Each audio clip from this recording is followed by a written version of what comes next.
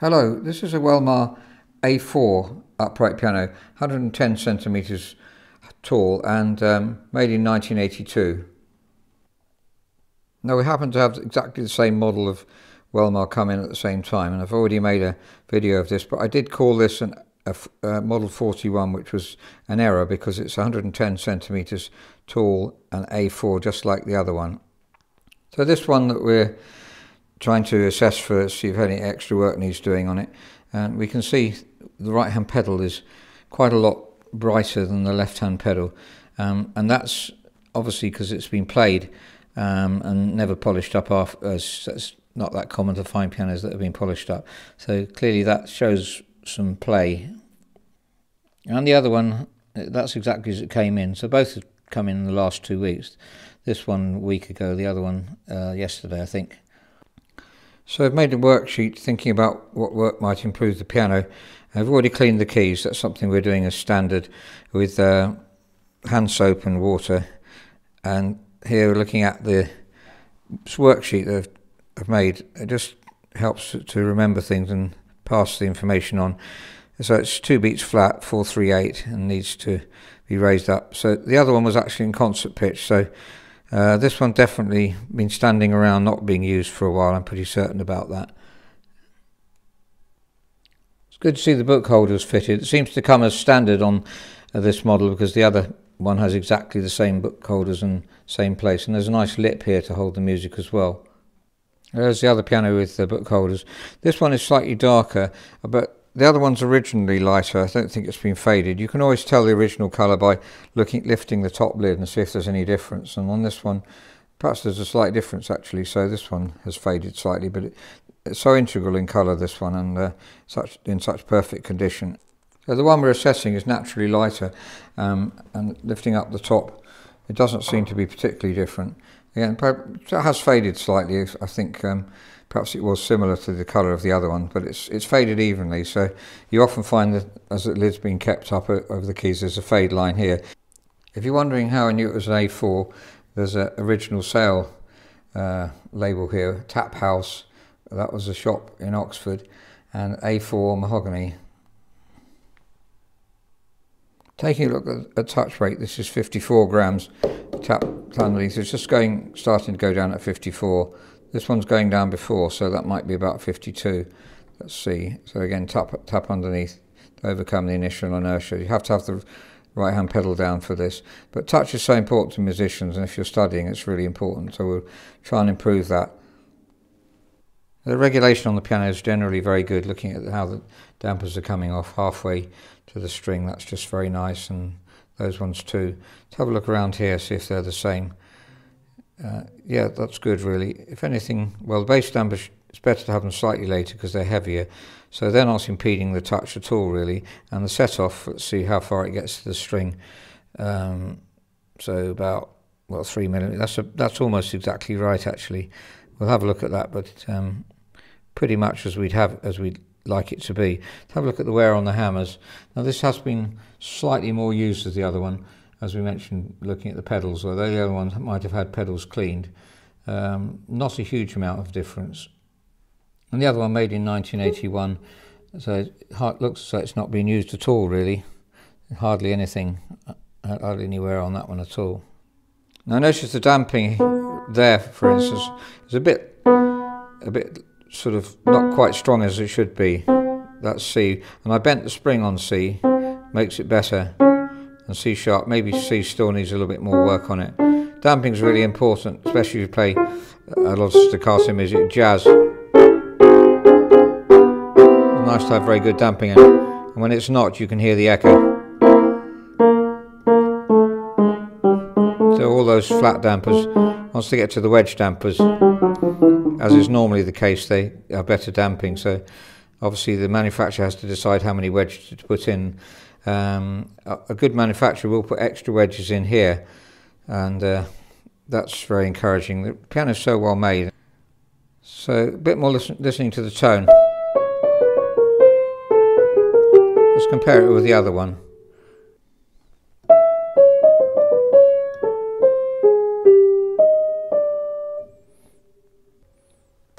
Back to the one we're assessing. I would, there's more, there's voicing to do and this is out of tune, so I had to tune it first before voicing it. But really very similar standard.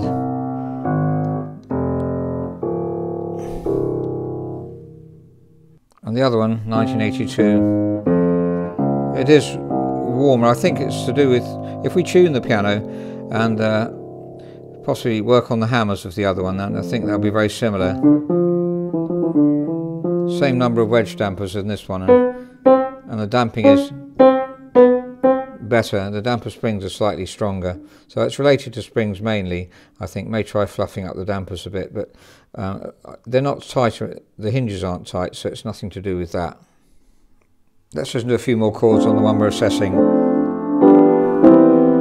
Pedals lifting off slightly too far, possibly, um, though it doesn't really matter too much. You, theory, you could wear, the springs out a bit if it lifts off too far, but I think we'll probably leave that because pedals tend to um, wear and they don't lift off enough after many, many years. The other one's exactly right.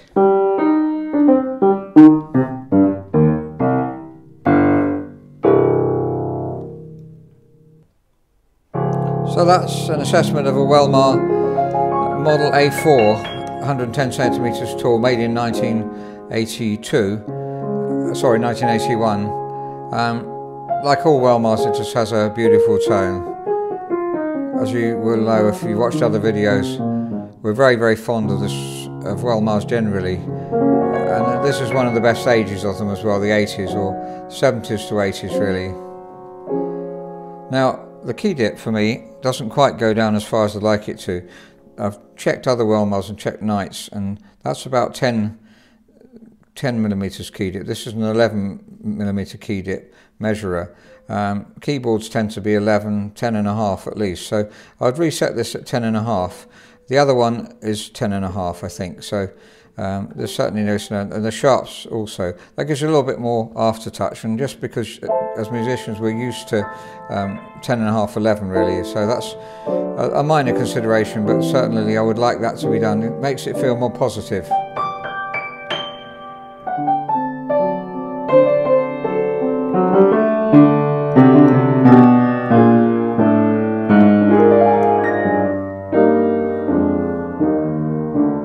Slightly out of tune at the moment and slightly flat, but generally an excellent piano. I've compared it with the other one, same model, one year difference.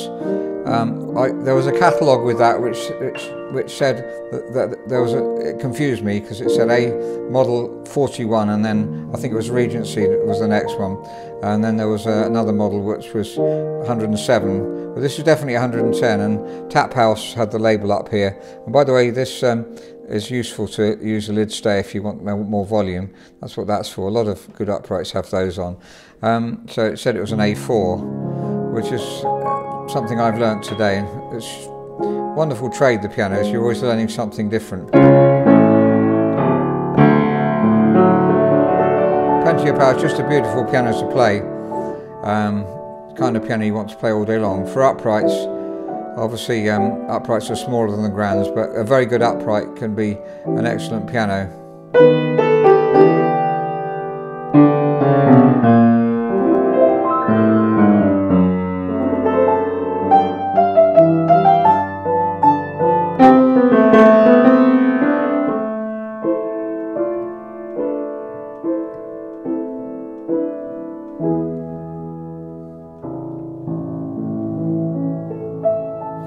If you are listening to this and you'd like to buy any of our pianos and can't come into the shop for any reason, um, then we're very happy to, um, to, to talk to you about the piano. If you can get in, if you can get onto a, uh, a video yourself with us, we can uh, show you different aspects of the piano direct. Or this video, hopefully, is enough. If you buy a piano without seeing it.